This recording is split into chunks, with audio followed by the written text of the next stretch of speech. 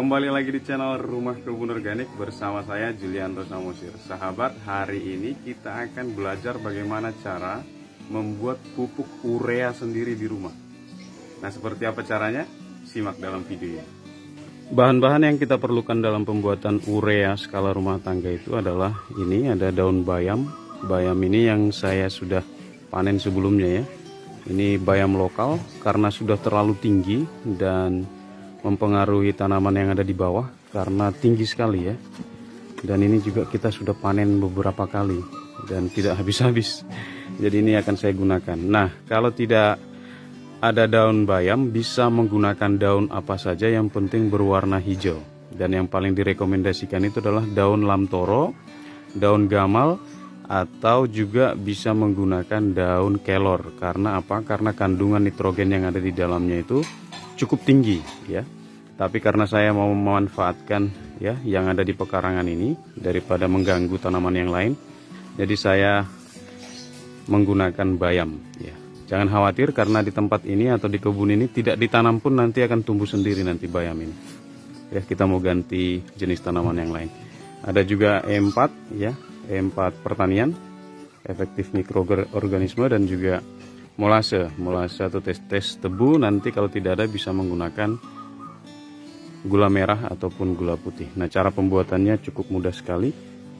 Yang pertama kita akan haluskan daun bayam ini ya.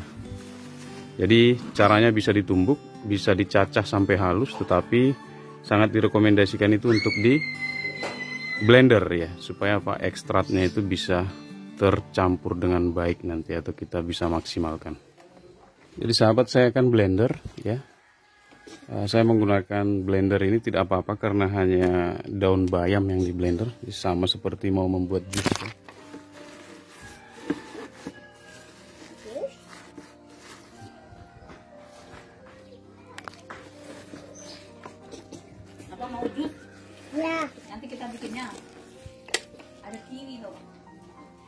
Kita bisa kasih air sedikit ya.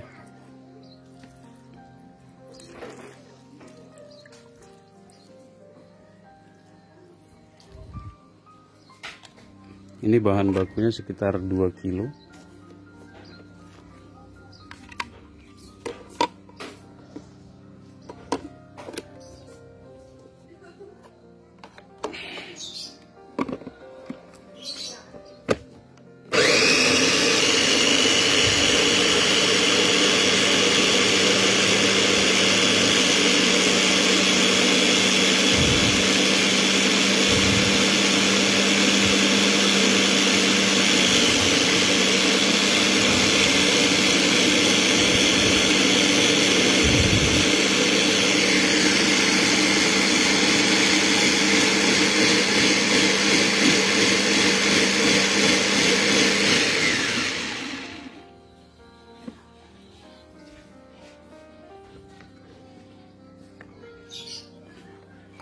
sampai halus ya. Jadi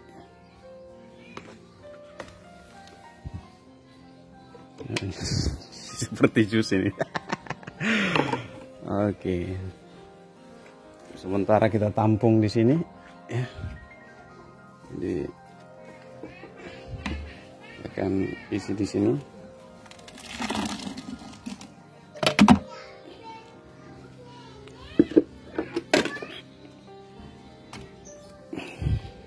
setelah semua bahan di blender jadi sudah halus sekali ya.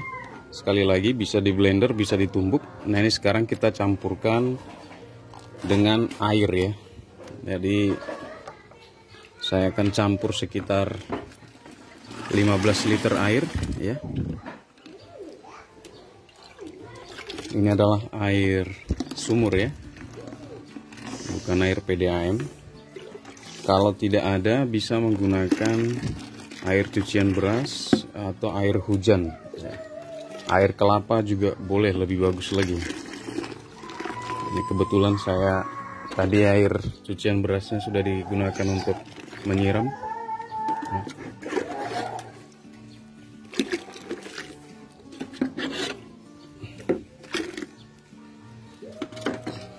Berikutnya saya akan campur dengan E4 ya pertanian efektif mikroorganisme sekitar 10 tutup botol ya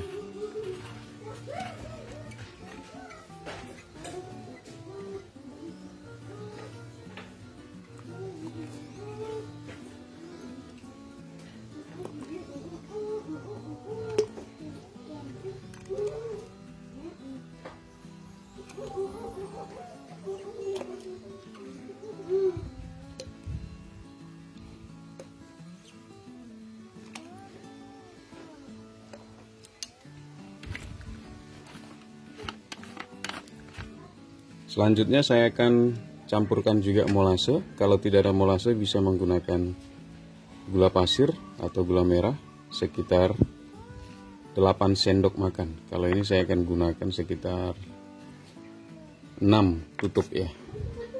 6 tutup botol ya. Jadi ini saya perkirakan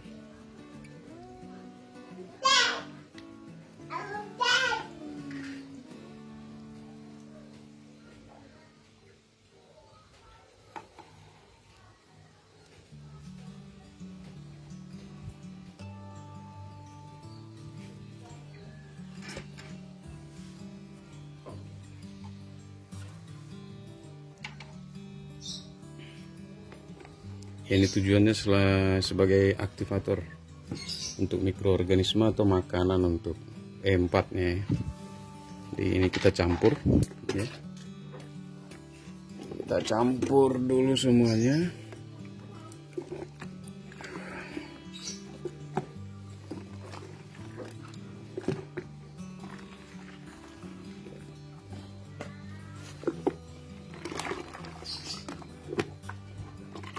Selanjutnya semua bahannya akan saya isi dalam wadah jerigen yang sebelumnya saya gunakan juga untuk membuat pupuk organik cair yang dari bonggol pisang ya. Jadi ini akan langsung saya isi di sini. Wadahnya bisa menggunakan ember, bisa menggunakan jerigen seperti ini ya.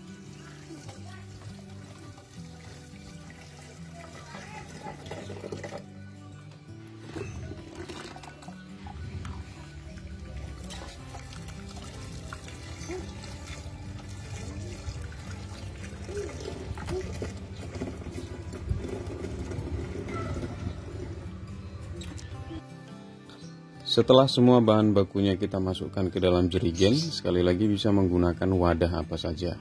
Selanjutnya, ya karena ini jerigen bekas, ya ini sudah tiga kali atau empat kali saya buat sebagai tempat POC. Nah ini yang kelima, ini ada yang bocor, saya tambal. Nah supaya kita tidak membuka setiap satu hari sekali tutupnya, karena akan ada proses fermentasi selama 14 hari. Jadi seperti biasa yang sudah mengikuti channel ini kita akan buatkan pendinginnya atau jalur pembuangannya ya dari proses fermentasi gas yang dihasilkan dari proses fermentasi. Jadi dibuat di lubang di bagian tutup botolnya ya atau tutup jerigennya. Selanjutnya yang sama juga di bagian pembuangannya atau botol mineralnya ya. Jadi ini bagian tutup atasnya. Nanti selangnya ini yang ada di dalam sini.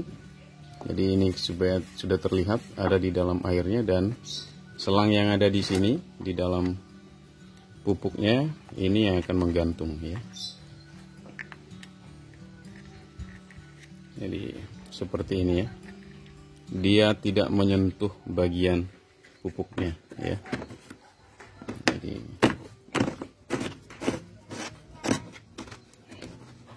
selanjutnya supaya lebih kerat ya kita akan tutup dengan lakban. Selama 14 hari.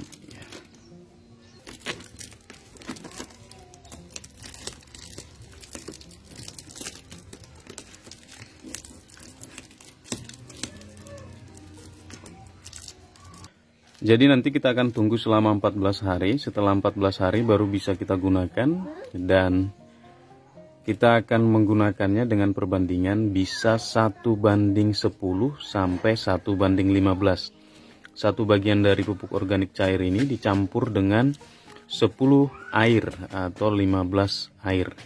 Ya jadi karena ini masih menunggu 14 hari saya punya yang sudah jadi sebelumnya atau pernah buat sebelumnya ya. Jadi saya punya banyak pupuk organik di sini jadi saya akan menggunakan ini untuk mencontohkan bagaimana cara penggunaannya ya.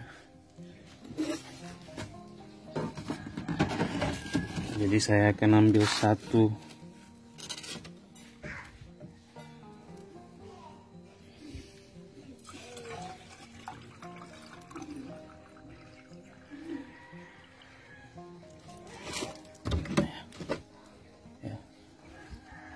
Contohnya dan saya akan campur dengan 10 bagian air ya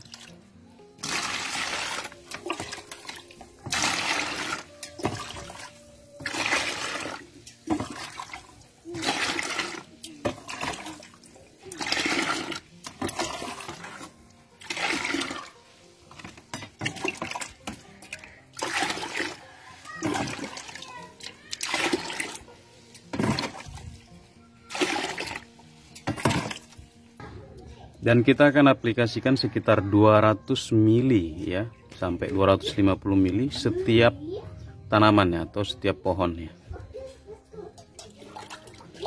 Inter, interval pemakaiannya itu sekitar 1 sampai 2 minggu sekali tergantung kebutuhan ya. Jadi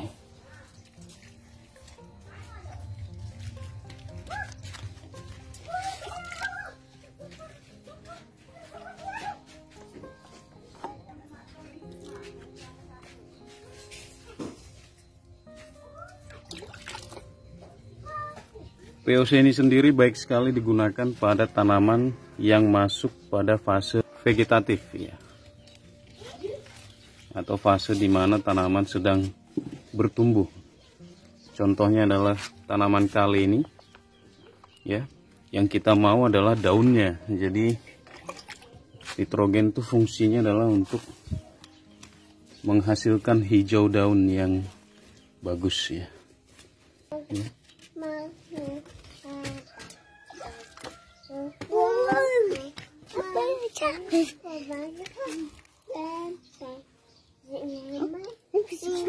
Mudah-mudahan informasi ini bermanfaat dan kita bisa membuat pupuk urea sendiri di rumah ya atau pengganti urea untuk menumbuhkan sayuran di pekarangan kita. Jangan ragu dengan organik karena pengalaman saya tidak kalah dengan yang menggunakan sintetis atau kimia. Saya Julianto Samosir, channel Rumah Kebun Organik. Sampai ketemu di video-video inspirasi berikutnya. Bye-bye. Selamat mencoba.